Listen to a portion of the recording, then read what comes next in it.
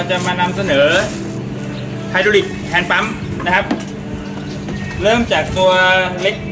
ที่สุดนะครับ ตัวนี้จะเป็น model CB 700C นะครับ แทงน้ำมัน 600 cc นะครับ pressure 700 บาร์นะครับเดี๋ยวเราจะมาลอง test เราติดเกจเข้าไปแล้วนะครับ เราจะมาลอง test แรงดันดูว่าตัวเล็กๆจะอัดได้ไหมนะครับ 700 บาร์ อ่าปิดวาล์วนะครับ ปิดวาล์วให้แน่น สีส้มอะครับโซนสีส้ปั๊มตัวนี้เหมาะกับเครื่องมือตัวเล็กนะครับ อย่างเช่นเอ่อหัวย้ำหางปลานะครับ ตรงข้ามร้านขายยา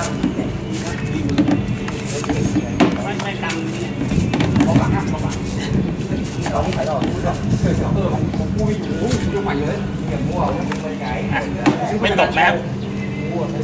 นิ่งแล้วมันมีเงินเลยดูดิ ที่เบิกมาจากโรงงาน